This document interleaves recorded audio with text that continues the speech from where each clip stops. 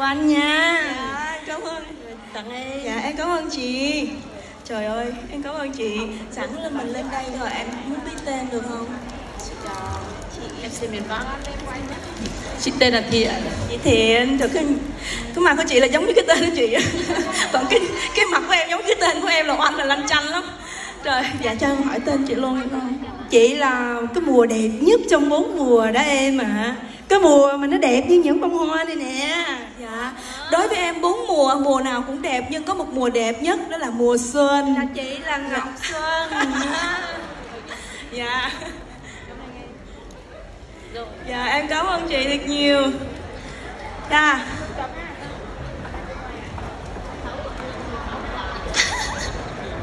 Đó đâu có đâu nãy giờ á là ở đứng ở phía trong có để ý cái túi của cô? À, đính chính với em mà chị không phải là việt kiều nha.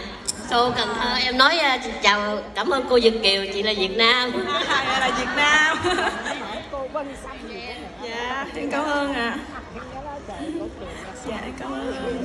Cười là thấy mùa xuân. Ờ, cười là thấy thần tài dạ. chị. Ờ, cái nó nói trời còn còn còn thích nghe cổ cười luôn luôn luôn á. Dễ thương quá dạ cảm ơn anh cảm ơn. Quay nguyên rồi thì nói về đại gia đình xanh đọc chuối. Chừng nào chị lớn? Lần trước em hát ở Cần Thơ với Cường. Dạ. Em nói là lần sau mà em hát với Cường em sẽ nhất định phải kiếm một bộ đọt chuối em mặc mặc dù là em ngồi ở dưới em có thể là sẽ hòa lẫn với mọi người nhưng mà phải tìm một cái gì đó để cho mình lấp la lấp lánh tí xíu. À, ngày hôm nay á quý vị mới trưa nay còn truyền nước. Anh không biết tại sao giờ đứng ở đây được. Chắc là một phần đặc biệt là bé cường và gia đình của mình.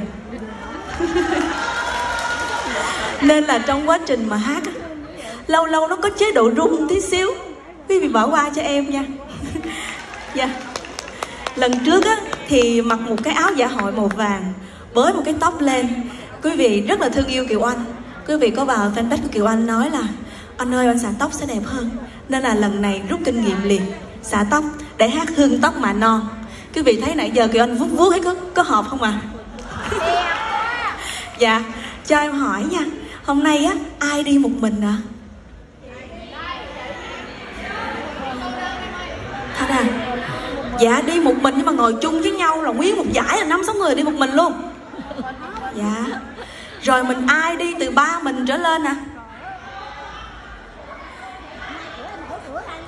Cho em hỏi là ai đi với người yêu hay là chồng vợ của mình à?